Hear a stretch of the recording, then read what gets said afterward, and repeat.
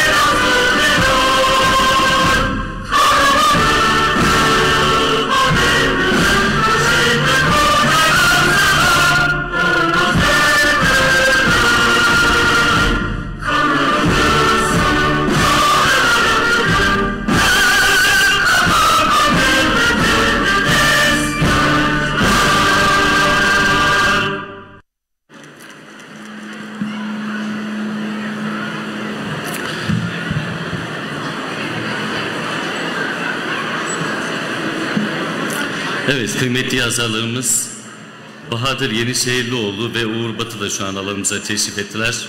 Kendilerine hoş geldin diyoruz.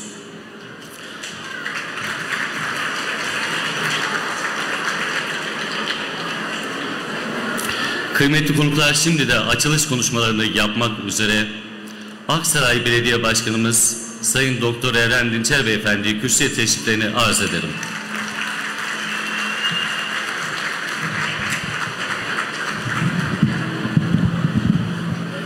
Evet, Sayın İdare Mahkemesi Başkanım, Sayın İl Müdürlerim, Oda Başkanlarımız, Belediye Meclis Üyelerimiz, Teşkilat mensubu arkadaşlarımız, çok kıymetli yazarlarımız, değerli Aksarlı hemşerilerim, genç arkadaşlarım, kıymetli basın mensupları, hepiniz dördüncüsünü düzenlemiş olduğumuz geleneksel kitap günleri fuarımızın açılış törenine hoş geldiniz, sefalar getirdiniz. İki yıl ara vermiştik pandemiden dolayı. En son 2019 yılında gerçekleştirmiştik. Az önce yazarlarımızla toplantı öncesinde yapmış olduğumuz görüşme esnasında çok mesafe kat edilmiş diye bize söylediler sağ olsunlar. İnşallah bu moral ve motivasyonla bundan sonraki yapacağımız kitap organizasyonu ve fuarlarımızın daha kapsamlı ve daha geniş içerikli olacağını da buradan şimdiden belirtmek istiyorum. Kıymetli hemşerilerim, 9 gün sürecek 8-16 Ekim tarihleri arasında bu organizasyonumuz. İçerisinde 110 tane yayın evimiz var. 33 tane söyleşi, 45 tane kitap imza etkinliği gerçekleştirilecek. Tabii ki diğer kitap organizasyonlarımızdan, fuarlarımızdan farklı olarak içerisinde 6 tane de çocuk tiyatrosu olacak. Bu bağlamda böyle bir yenilik katmış olduk bu kitap fuarımıza. Ee, içerisinde birçok yine benzeri faaliyetler, organizasyonlar gerçekleşecek. 7'den 70'e tüm gençlerimize, tüm vatandaşlarımıza, çocuklarımıza hitap eden bir yönü var, özelliği var. Sadece genç çocuklarımız, arkadaşlarımız değil, tüm vatandaşlarımızın bir şey öğrenebileceği, katkı sunacağı, kendisinde bir şey bulabileceği bir organizasyon, etkinlik olacak inşallah. İki gün geçen süre oldu, çok geniş katılım oldu.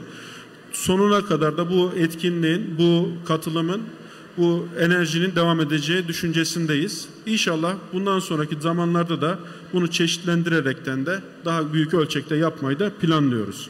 Tabii ki biz gençlerimizin 9 gün boyunca bu etkinlikte sınırlı kalmasını istemiyoruz. Yakın zamanda peyderpey açılışını gerçekleştireceğimiz kitap konaklarımız var.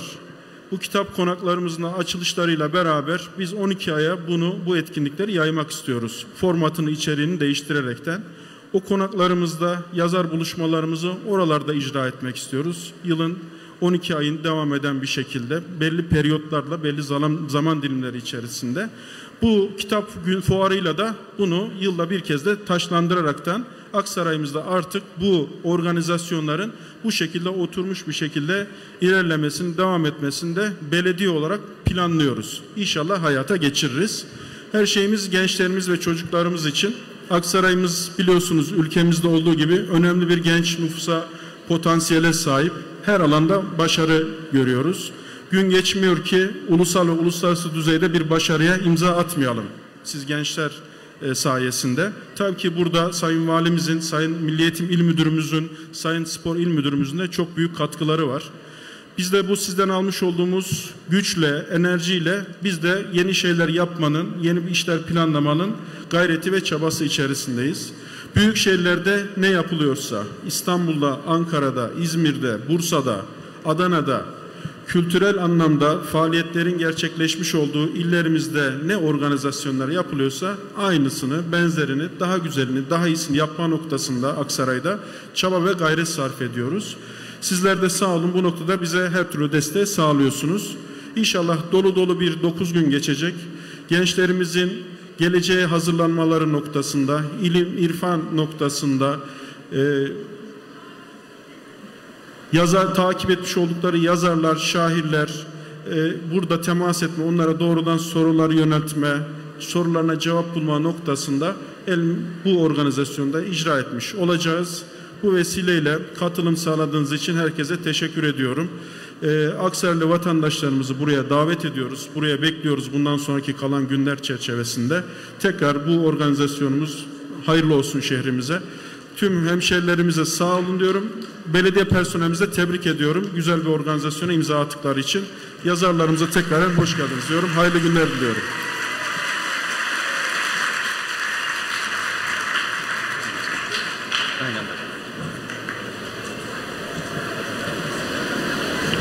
Sayın Belediye Başkanımıza konuşmalarından dolayı teşekkür ederiz. Kıymetli konuklar bugün açılışımız için iki kıymetli yazarımız da aramızdalar. İlk önce yazar ve akademisyen Uğur Batı Beyefendi konuşmalarını yapmak üzere kürsüye davet ediyorum alkışlarınızla. Çok teşekkür ederim. Ee, herkese merhabalar. Ee, önce Sayın Belediye Başkanımıza ve emeği geçen herkese çok teşekkür ediyorum. Ne güzel bu arada sizi genç genç sahnede görmek gerçekten çok ilham verici öyle söyleyeyim. Ya burası e, bence çok özel bir il. Çünkü şöyle düşünürüm. E, tarih içerisinde medeniyetlerin, kültürlerin uğrak noktası olan her ilin çok değerli maddi ve manevi kültürleri vardır. Bir anımı anlatmak isterim size. Anım Çorum'dan olacak ama buraya bağlayacağım.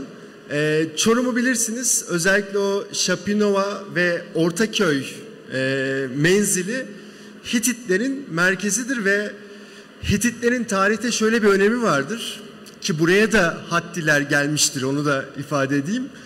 Ee, biz ona anakronik deriz yani tarihsel çerçevede e, dünyanın en ileri medeniyeti olarak kabul edilir. Ne zaman? Kendi bulunduğu tarih dilimi içerisinde.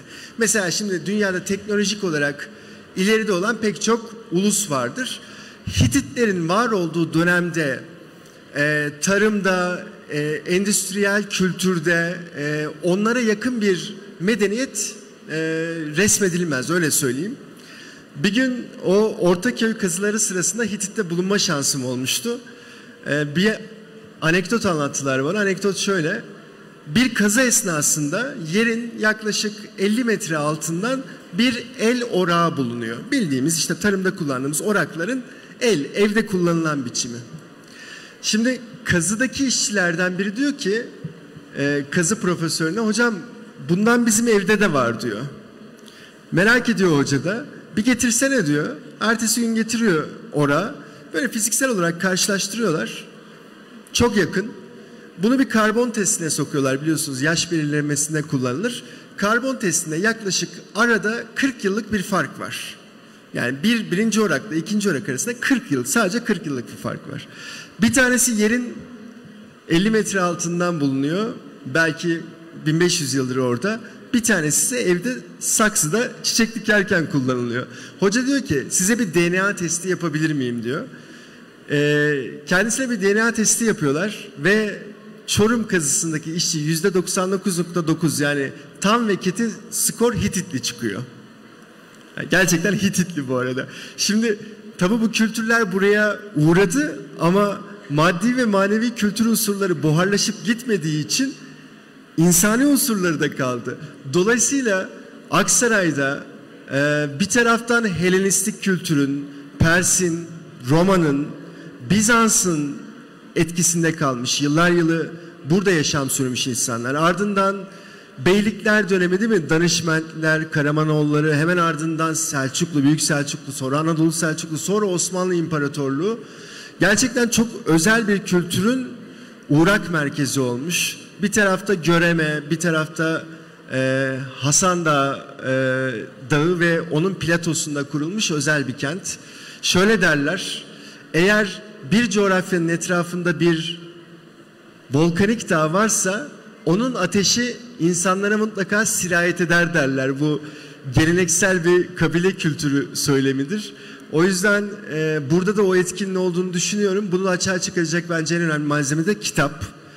O yüzden kitaba dokunduğumuz nokta biz yazarlar için çok heyecan verici. Sizleri görmek de çok heyecan verici. Ee, daha fazla kitap bizim için daha ilham verici, daha huzurlu, daha barışçıl bir gelecek demek.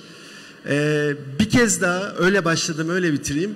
Bizi sizlerle buluşturdukları için emeğe geçen herkese, küçüğünden büyüğüne, emekçisinden sayın belediye başkanımıza kadar herkesin ellerine sağlık diyorum.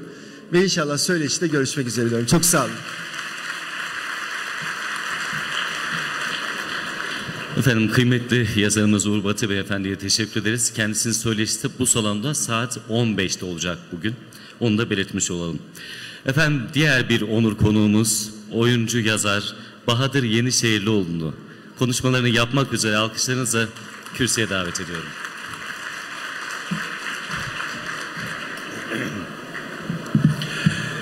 Değerli misafirler, hepinize çok teşekkür ederiz teşriflerinizden dolayı. Özellikle belediye başkanımıza çok teşekkür ediyorum. Gıyabında kendisiyle alakalı çok güzel şeyler duyuyoruz. Günümüzde e, bu ev safta insan bulmak giderek zorlaşıyor. Sizler için çok çalışkan, çok temiz, çok saf tabirini kullandılar ama iyi niyetli olarak. Bu çok önemli. İnsanların hileye, hurdaya alışık olduğu ve giderek daha da şeytanlaştığı günümüzde sizin gibi temiz kalabilmiş, memleketine hizmet eden bir belediye başkanının organize ettiği fuarda olmak bizim için çok anlamlı, değerli. Ben kendi adıma çok teşekkür ederim. Ayrıca dördüncüsünü icra ediyorsunuz kitap fuarının. Bu da anlamlı. Yani sürdürülebilir kılmış olmanız, vatandaşların buraya teveccühü, özellikle gençlerin ki bizim açımızdan gençlerin kitap fuarlarına gelmesi, taşınması ve onların kitapla buluşmasını sağlamak çok anlamlı. Kitap hayatımızı değiştiren, dönüştüren en önemli araçlardan biri. Değer yargılarımızı da malumunuz kitap üzerinden kurarız. İnsanları değerli kılmak istediğimizde kitap üzerinden ya da insanları yermek istediğimizde kitap üzerinden değerlendirme yaparız. Deriz ki o o kitap ehlidir. Övmek adına söyleriz bunu ya da bir insanı yermek için onun gözü hiç kitaba değmemiş, eli hiç kitap sürmemiş deriz küçük görmek için. Bu sebeple kitap hayatımızda önemli bir araç. İnsanoğlunun gelişmesi ve geleceğe doğru yol alabilmesi için Türkiye e, var olan dünyamızda elhamdülillah güzel yol alan bir ülke. Bütün dünyada sıkıntıların, problemlerin yaşandığı bir zaman diliminde ülkemizde de yaşanan sıkıntılar, problemler var. Ama ve lakin veriler gösteriyor ki Türkiye iyi yolda gidiyor. Bütün sıkıntılara rağmen gelişmesini sürdürüyor. Kitap fuarları da bu açıdan önemli. Her geldiğimizde Aksaray'ı daha farklı buluyoruz. Daha gelişmiş buluyoruz. Kent yaşamının daha şekillendiğini görüyoruz. Bu belediyelerin zaten yapmak mecburiyetinde oldukları altyapı çalışmaları ve üst güzelleştirme çalışmaları layıkı veçile yapıyorsunuz. Ama belediyelerin esas vazifesi kültür hayatımıza yaptıkları katkıyla ölçülür. Bu her şeyden daha önemlidir. Bu kapsamda bir fuarı Türkiye'nin birçok ilinde, ilçesinde görmüyoruz. O açıdan tespit ediyoruz ki burası değerli ve anlamlı. Aksaray kadim bir şehir, mazisi güçlü bir şehir ama kitap açısından da böylesine düzenli ve sürdürülebilir kitap fuarını devam ettirdiği için de gücüne güç katıyor. İnşallah sohbetimizde beraber olacağız. Teşriflerinizden dolayı hepinize ayrı ayrı teşekkür ederim.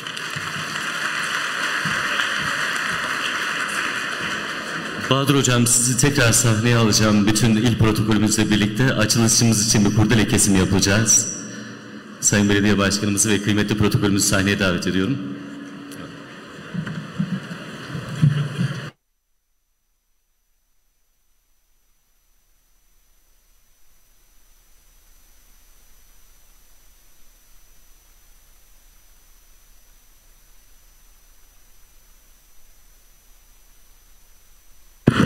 Evet, şimdi dualarını yapmak üzere İl Müftümüz Hasan Sayın Güler Beyefendi'ye mikrofonu arz ediyorum.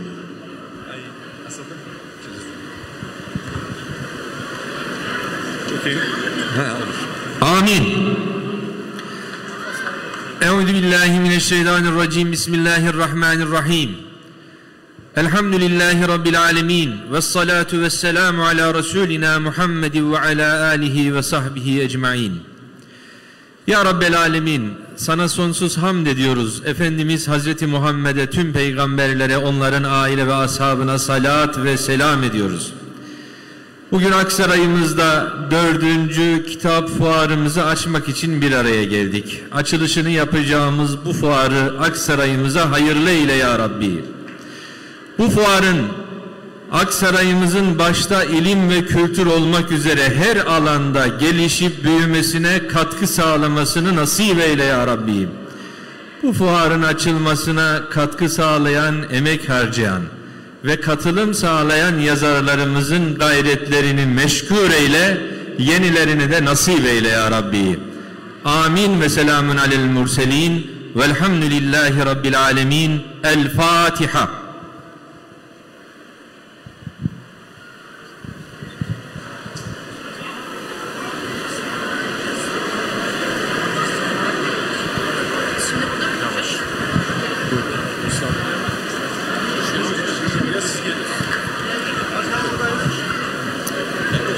Evet. Herkes tamam. Hayırlı uğurlu olsun. Ya Allah Bismillah. Reis-